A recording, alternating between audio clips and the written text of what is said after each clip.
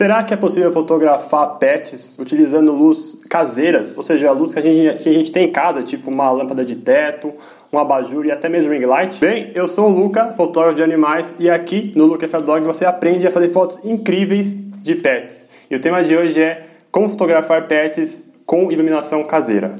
Bem, vamos lá. Quais são as iluminações é, que a gente tem normalmente em casa que a gente poderia utilizar para poder fotografar pet, tá?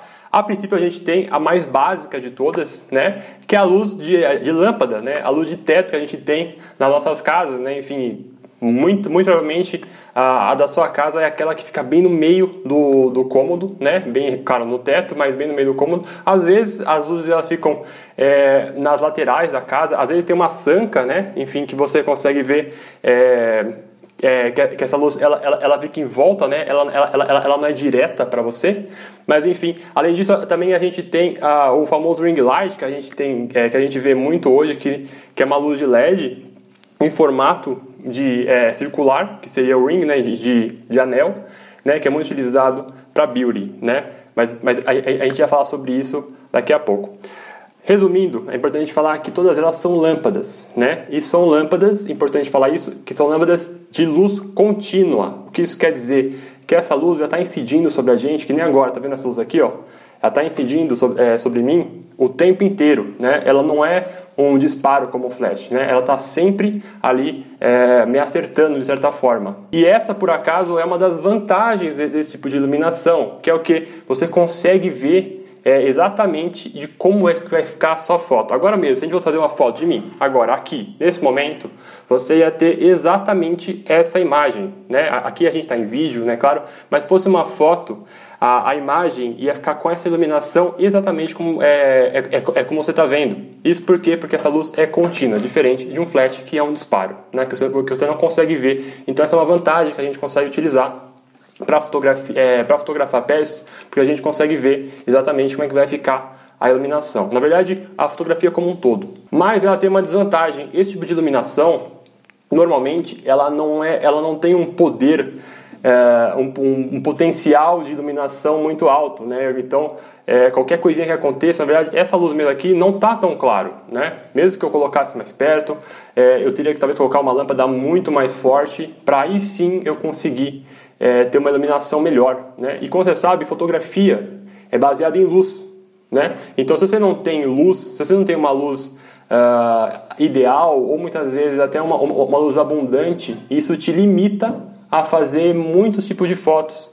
Principalmente se o seu pet ou o pet do seu cliente ele é uh, animado, se ele é agitado, se ele está sempre se mexendo, se ele está é, muito agitado. Se ele fica se mexendo muito e está muito agitado, você pode ter certeza que essa foto vai ficar borrada, que essa foto, que essa foto mesmo que você ajuste, ela vai ficar escura. Ela pode ficar até pior, ela pode ficar pixelizada, enfim, parece que tá, tem uma coisa estranha, enfim, parece uma, uma foto muito antiga, né, nos tempos digitais ainda. Então, assim, essa iluminação, ela é muito boa no sentido de que você, no sentido de que você consegue ver como é que vai ficar a foto.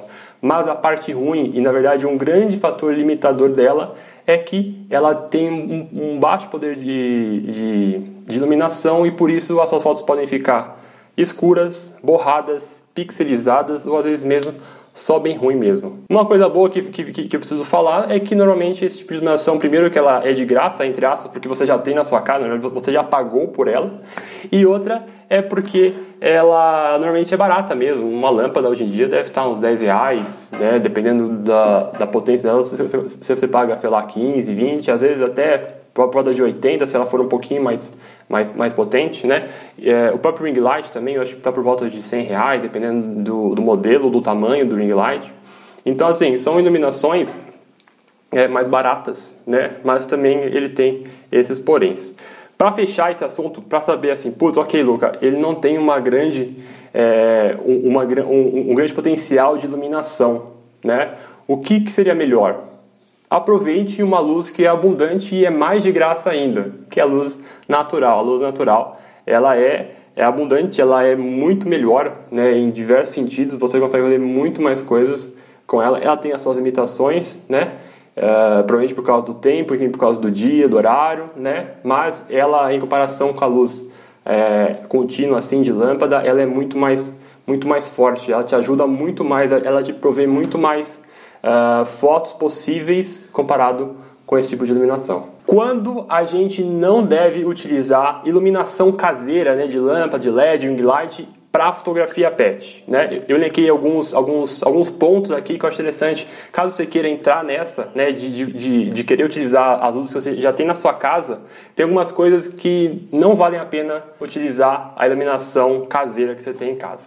O primeiro ponto é quando você quer fazer as melhores fotos que você puder. Né? Quando você quer fazer as melhores fotos que, é, é que você puder, então, a iluminação artificial, a, a, no caso essa caseira, ela não vai ser a melhor. Primeiro porque ela já tem um, um poder de exposição menor, né?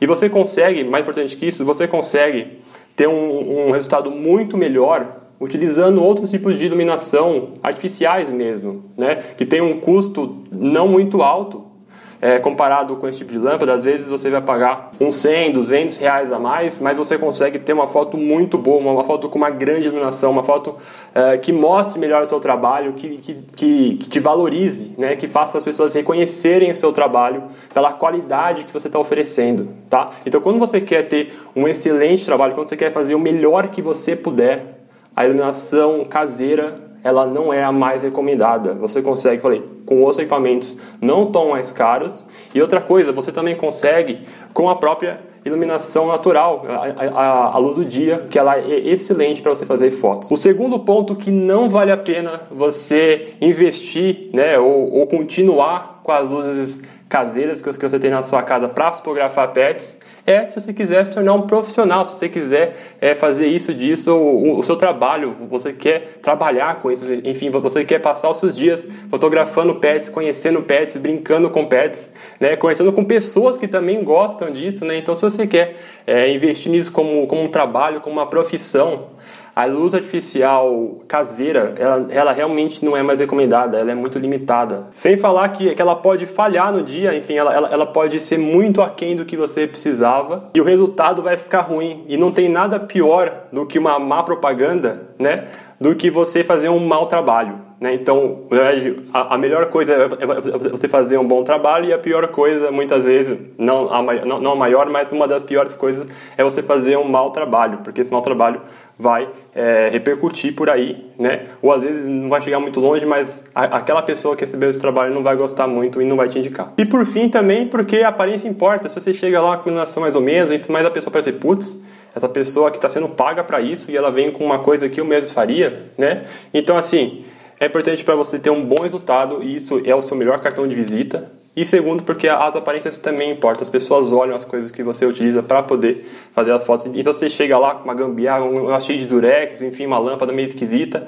É, claramente as pessoas vão ver e putz, sério que eu estou pagando por isso, né? Então, assim, a aparência também importa, mas o, o seu resultado né, é, vai ser muito comprometido se você, se você utilizar esse tipo de iluminação que é muito limitado. Mas eu vou aqui te ajudar, se você quiser fazer fotos realmente melhores, você pode investir um pouco mais, sei lá, 100, 200 reais, às vezes até 300 reais e conseguir comprar um flash. Com o flash você consegue ter uma amplitude de, de fotos muito melhor comparado com a luz com a luz caseira que você tem em casa. Você consegue fazer fotos até durante o dia, você consegue fazer fotos de pôr do sol em locais fechados, em locais que também claramente não, não, não estão muito claros. Enfim, a possibilidade que você consegue com flash é muito maior. Eu tenho um vídeo no canal explicando, verdade, vários vídeos no canal é, explicando como utilizar flash, quais são as coisas boas, quais são as coisas ruins. Então depois aqui vai lá assistir. Dá pra gente fotografar pets utilizando ring light Bem, primeiro vamos entender é, claramente o, o, que é o ring light. Caso você não saiba, o ring light é um formato circular, né,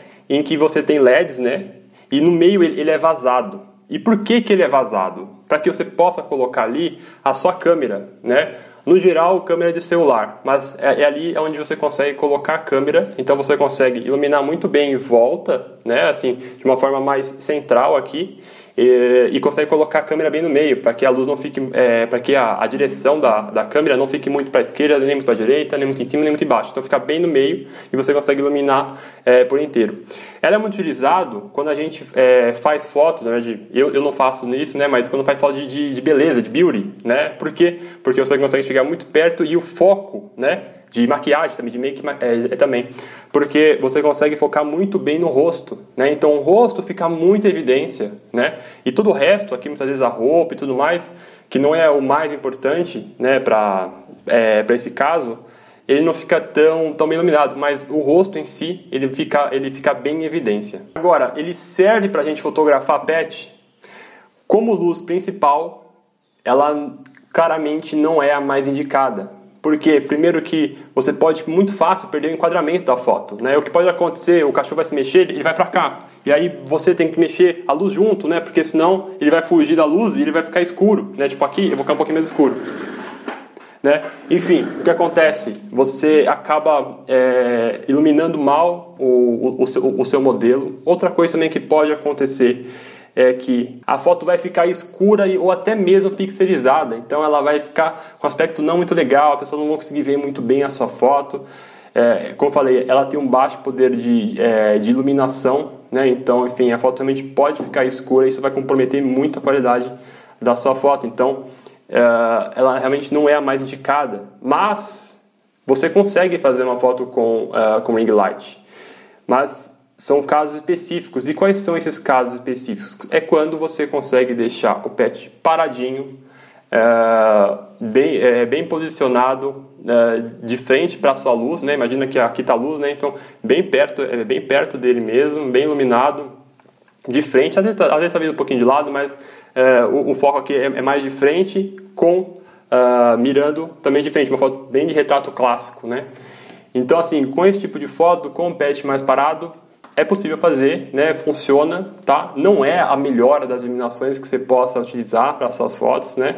Mas para fazer uma foto de registro, né? Uma foto que você vai apenas guardar, uh, ela tá ok, né? Tá, tá uma foto bem, bem ok. Então, resumindo, né? Você vai conseguir pouquíssimas fotos, né? Às vezes elas vão ficar escuras, tremidas, né? Às vezes pixelizadas, mas você consegue fazer uma foto que, que seja uh, muito paradinho, né? Enfim, muito muito estático, quando você consegue deixar o pet bem parado, assim aí fica um pouquinho mais possível. Mas ele tem um porém também que faltou falar, é que esse tipo de iluminação, por ele estar muito perto do pet, vai ficar aquela luz no seu olho incômoda, sabe? Aquela luz que fica no seu olho. Sim, e se pra gente já é incômodo esse tipo de luz, né? Enfim, de cara pra gente, assim, muito forte, imagina pros pets como é ficar toda hora olhando, né? Então, assim, esse tipo de, esse tipo de, de, de iluminação, ele incomoda uh, bastante se ele estiver muito perto, se ele for muito forte, né? E pior, se ele for constante, enfim, se você não conseguir ficar... É, é como a gente ficar olhando para o sol, enfim, uma hora dor de cabeça. Agora sim, qual que é a melhor forma para você utilizar a luz caseira nas suas fotos e ter um excelente resultado? Né? Aqui eu, eu vou mostrar é, algumas formas em que você consegue utilizar, né? em que você consegue utilizar e realmente vai ficar, vai ficar bom, vai ficar bem legal para suas fotos pet, tá? Primeiro, ela não é a melhor para você utilizar como luz principal, né? Tipo, tipo aqui, né? É, é, é, como essa luz aqui, né? Enfim, é a luz que vai a, atingir diretamente o seu modelo, tá? Mas, como uma luz secundária, ela é interessante, né? Porque ela é uma luz que ela vai pegar um pouco, ela vai iluminar pelo menos uma parte do modelo, né? Tipo aqui, eu, eu tenho uma luz azul, olha só. vou tirar aqui, então, é, ela como a luz secundária, enfim, para dar um, uh, ah, para fazer um reflexo, enfim, para é, poder é, preencher melhor o, o, o modelo é interessante. Ou muitas vezes ela é muito boa para você iluminar o local. Então, o local às vezes precisa ser iluminado, né? Tipo aqui, a gente tem ali aquela lâmpada e tem uma outra embaixo, né? E ela deixa esse fundo aqui mais rosado. Então, Uh, para fazer esse tipo de, de, de, luz, assim, de fundo, de ambiente, ela é bastante interessante, porque assim você consegue iluminar o local, né? Uh, ela tem, como eu falei, um, um, poder de iluminação menor, então ela consegue iluminar o local, mas não muito, tá? Uh, e o modelo, aí você, aí, aí, você vai claramente precisar de um outro tipo de, de iluminação para o modelo, porque, porque essa luz ela realmente não é muito forte. Caso você queira ver na prática, eu tenho um vídeo aqui no canal mostrando como é que faz luzes de Natal, né? Ou seja, é uma luz contínua em formatos né, de, de, de pontinhos, onde você consegue colocar ela no fundo e essa luz você consegue fazer é, um efeito bastante legal. Então, é, para você utilizar uma luz artificial e, e, e, caseira, né, como uma luz também de pisca, é interessante que você utilize ela muito mais ou para poder preencher, né, o seu modelo, enfim, iluminar um pouco ele, às vezes, às vezes de trás, às vezes de lado, ou o ambiente, como essa foto de, de pisca que eu já fiz o vídeo aí, o tutorial para você também fazer na sua casa. Gostou desse vídeo? Bem, eu me chamo Lucas, sou fotógrafo de animais. Se você quiser fazer fotos incríveis de pet, não deixa de se inscrever no canal para ver mais vídeos como esse. Te vejo no próximo vídeo.